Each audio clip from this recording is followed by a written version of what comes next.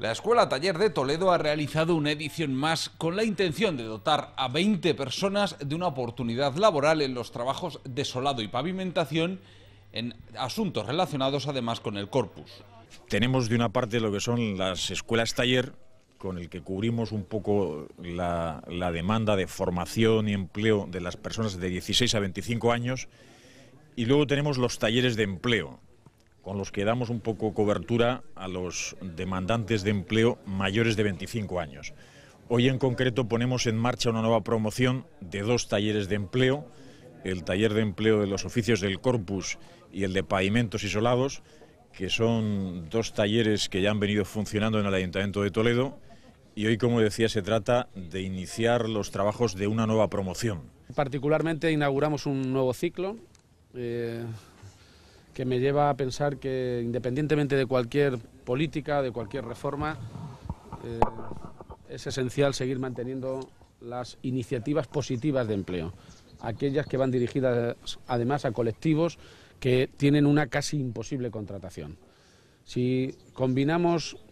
la necesaria búsqueda del mantenimiento de algunos oficios, de estos que ni siquiera en crisis se mantienen, ¿no? ¿Quién se dedica ahora al bordado?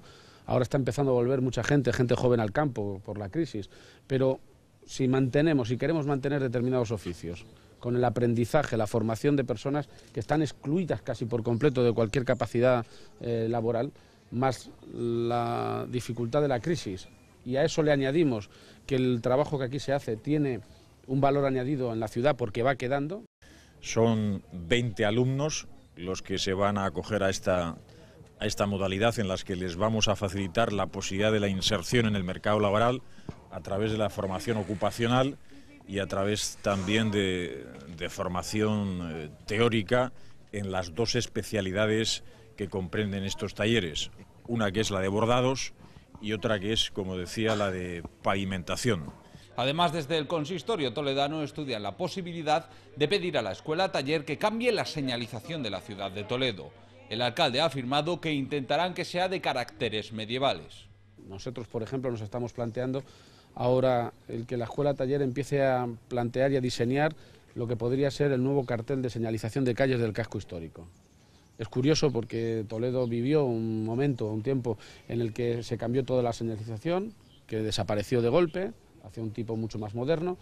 y desde entonces se ha ido dando tumbos sin una señalización definida, básicamente sobre un tipo de cerámica que sin estar mal no termina de convencer a todo el mundo. Nos estamos planteando, y si lo hacemos se lo vamos a encargar a la escuela taller, para que poco a poco, como estamos haciendo con el taller de bordados, que en definitiva es de renovación del corpus por completo, después de cuatro años se le dado una vuelta como un calcetín,